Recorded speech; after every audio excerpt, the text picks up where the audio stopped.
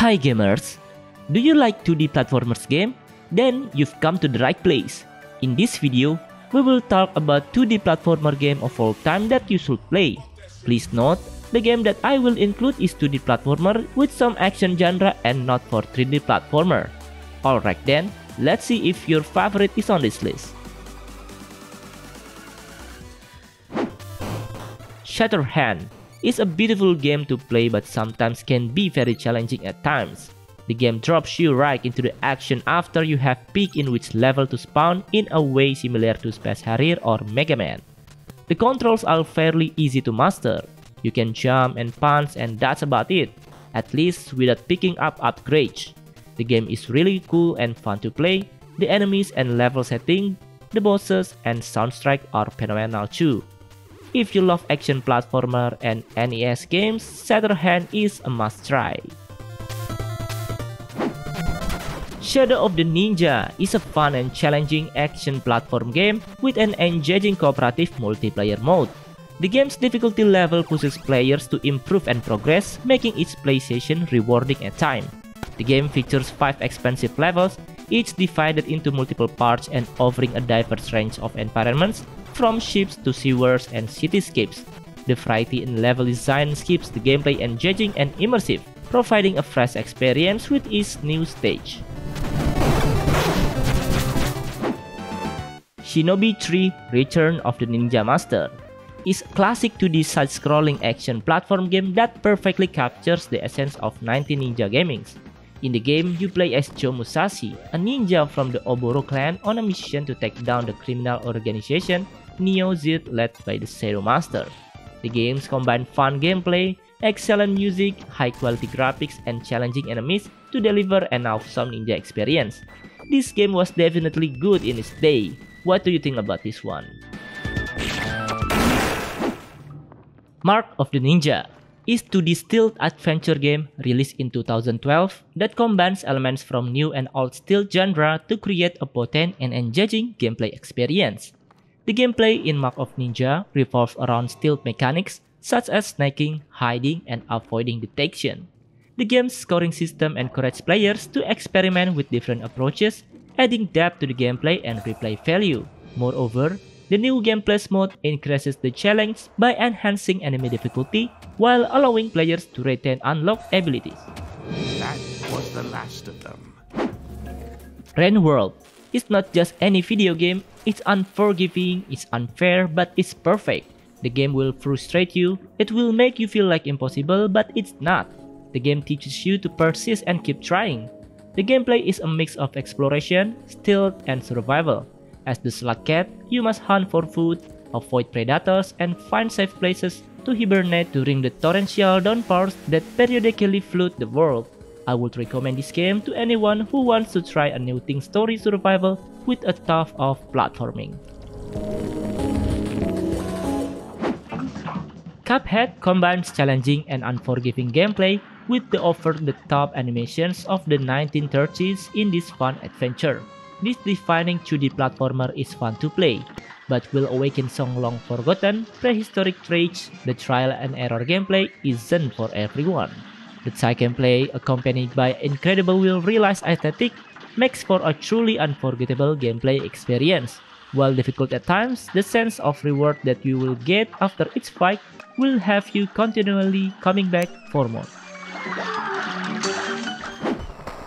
Sonic the Hedgehog 3 takes us back to the golden era of Sonic games that offers a solid fast-paced platforming experience that is satisfying and fun. In the sequel, the game introduces new characters, Knuckles the Echidna, and includes more story sequences.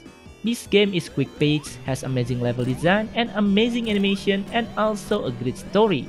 Not only that, you can become different characters for a different story.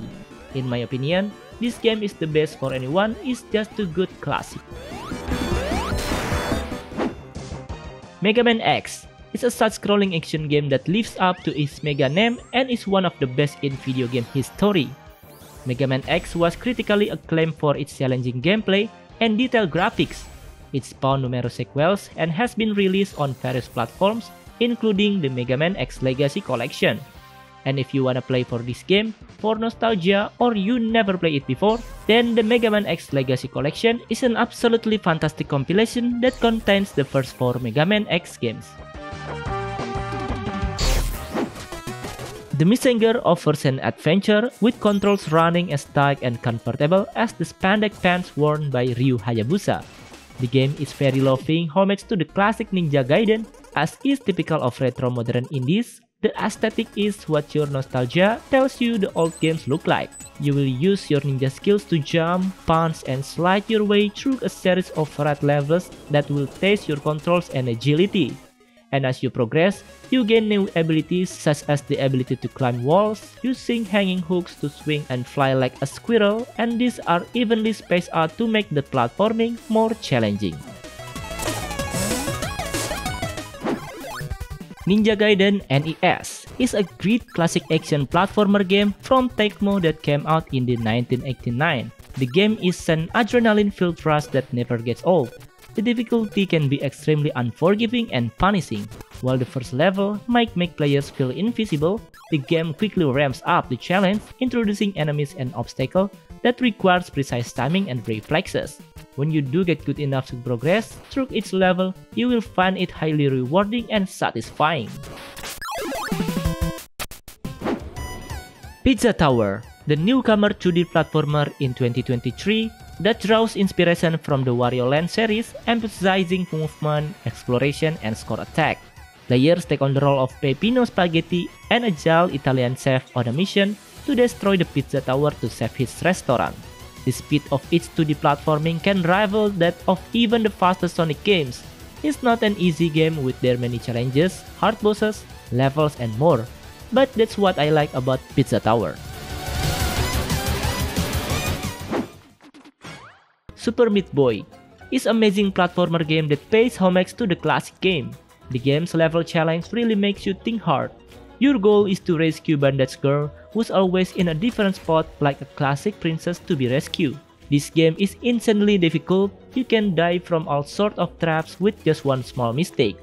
What's fun is that even though it's mainly single player, playing with friends is a blast, especially when you stress, just pass the controller to a friend so they can stress out instead.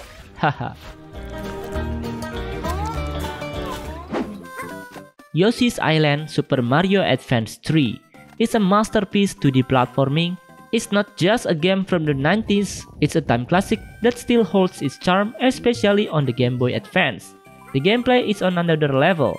The whole concept of throwing eggs and transforming into various vehicles was way ahead of its time, and Yoshi abilities like the hover jump and powerful stomp really adapt to how you play, especially when you have to keep baby Mario safe. It's one of those games that proves you don't need to cutting edge graphics to be iconic game.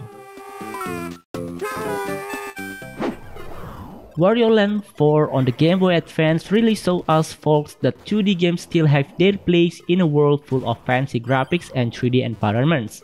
Even though it looks simple, it's the storyline that keeps us hooked.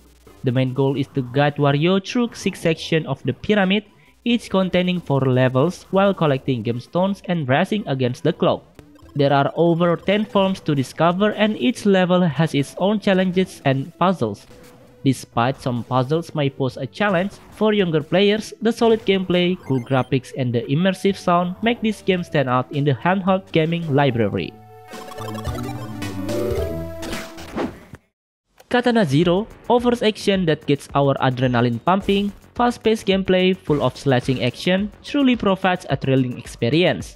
In the game, you will play as a samurai assassin with time manipulation abilities and the ability to peek into the future. This makes every level feel like a session of strategic murder planning. From a visual standpoint, Katana Zero truly shines with a sleek neon aesthetic, impressive sprite work, and retro electro soundtrack bro, it enhancing the gaming experience, immersing players into the stylish world of the game even more. Klonoa Door to the Phantomile is a side-scrolling platform game viewed from 2.5D perspective. These characters' moves are great for how basic they are, and the game uses all of them a lot. The buttons and joysticks are easy to use, and the 3D features work surprisingly well. Defeating bosses is the best part of the game. Each one is different and fun. Have you ever played this game? Seriously, you should give this a try. Sonic 3 and Knuckle emphasizes speed in addition to platforming just like other Sonic games. One thing different from Sonic 1 in this regard is that Sonic 3 removes the speed cap from that game, allowing Sonic to accelerate to ridiculous speed. The game provides engaging gameplay with the option to play as either Sonic or Knuckles. Knuckles introduces new gameplay mechanics like gliding and wall climbing, offering players a different experience compared to the playing as Sonic. This game has the best graphics of any classic Sonic game, especially for 1994 game.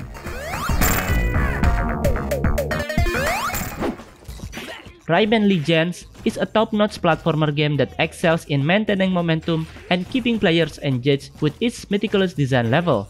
Drawing inspiration from its predecessor, Rayman Origins, this game offers a charming and polished experience with vibrant characters and rich environments.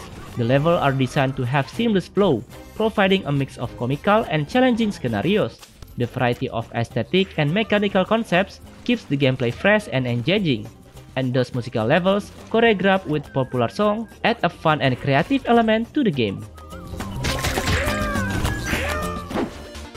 Cyber Shadow is a modern AAA game that pays homage to classic retro games from the 1980s. Although some might compare it to the Messenger, Cyber Shadow stands out because of its more serious tone and extra attention to visual details and storytelling. In the game, players control Shadow, a cyber ninja on a mission to navigate Mecha City, rescue clan members, and defeat the ruthless villain, Dr. Progen. With well-paced action and flashback that adds depth to the Shadow characters and creates suspense throughout the adventure. Some mechanics like knockback features can be frustrating, especially in tricky platforming section. Super Mario World is a beloved classic that has stood the test of time. The game follows a familiar storyline where Mario rescues Princess Toadstool from Bowser's. While introducing new features and characters like Yoshi the dinosaur, the core of the game remains a 2D platformer with the goal of rescuing the princess, which might feel somewhat repetitive to some players. The difficulty level can be challenging, especially in the later stage, when finding secrets exist becomes crucial. The music in this game is memorable and adds to the overall charm of Super Mario World. Celeste is one of these games you absolutely have to try. Seriously, it's an action platformer that really gets you adrenaline pumping. Just imagine diving into an environment that's not only challenging but also super fast paced, and the environment itself is seriously hostile.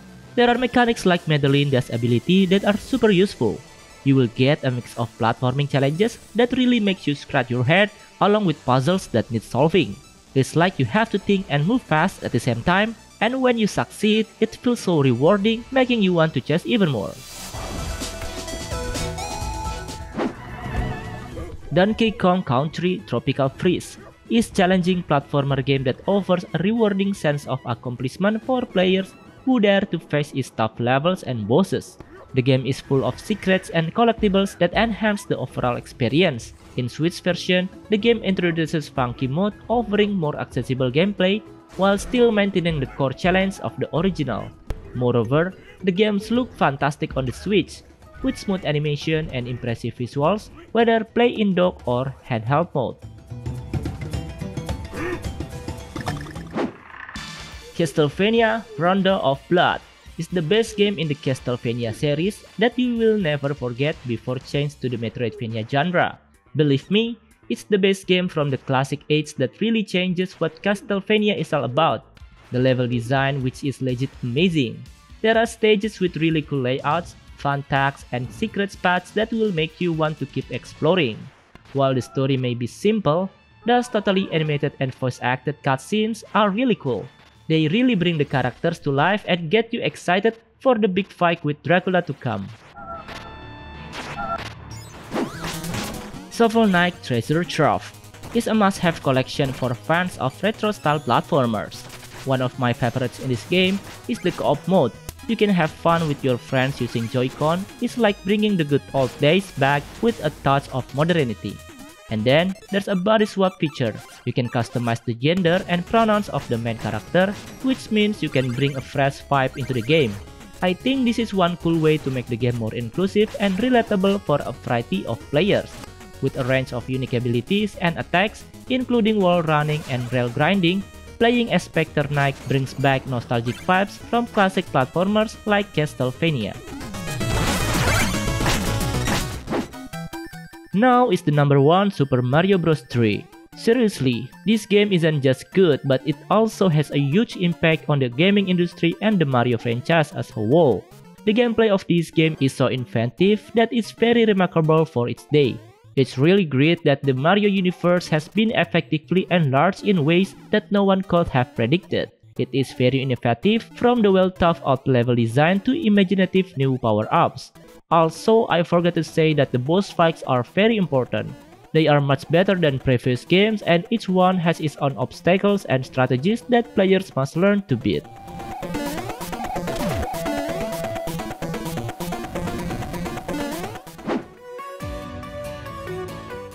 And that's it for today. What do you think about this list?